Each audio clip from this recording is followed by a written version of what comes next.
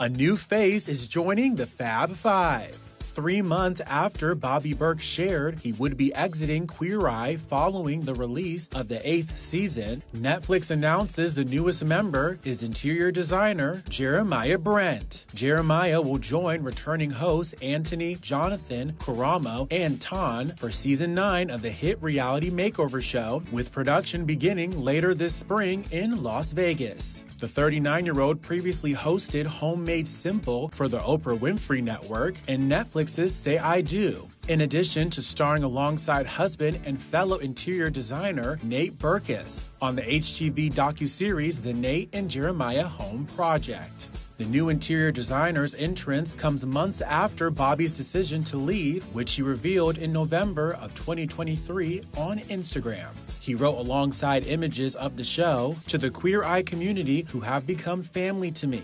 It's with a heavy heart that I announce that season 8 will be my final season on Queer Eye. It's not been an easy decision to be at peace with, but a necessary one. Although my journey with Queer Eye is over, my journey with you is not. You will be seeing more of me very soon. Ending his message with hashtag Forever the Fab Five. His co stars took to the comments to share the same sentiment, with Anthony writing, Forever the Fab Five indeed, and don't forget it. Karamo saying, We are forever the Fab Five no matter what. I'm about to be at Netflix's door in emails telling them you can't leave. And Jonathan posting a series of hearts. The streaming platform also paid tribute to the design pro amid his departure, writing After six incredible years of life changing transformations, season 8 will be Bobby Berk's last with the Fab Five. We appreciate the heart and dedication he has brought to Queer Eye and wish him the very best.